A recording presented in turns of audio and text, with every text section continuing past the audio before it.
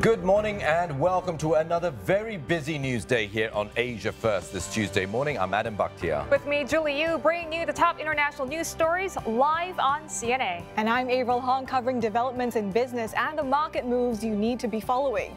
Your headlines this hour.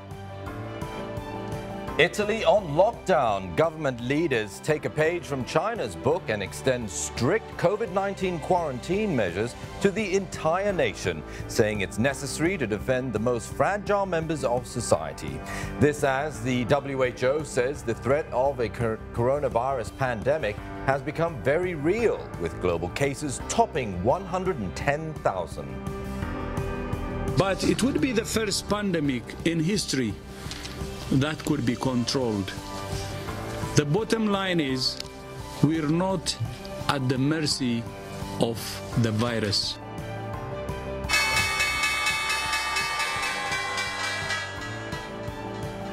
And the hits keep coming for U.S. markets. The Dow losing more than 2,000 points for its worst day since 2008.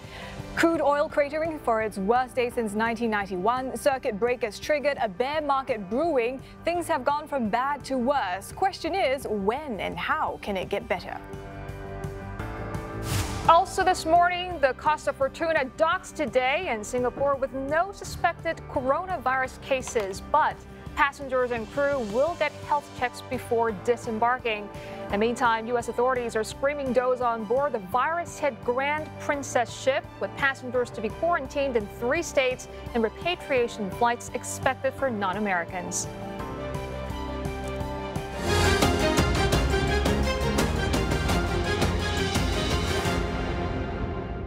And we begin in Italy this morning, where the entire country has been put into lockdown to stem the spread of COVID-19 amid a sharp increase in cases.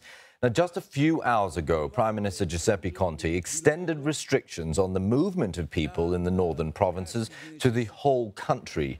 Mr. Conte says it is necessary to protect the vulnerable in the community.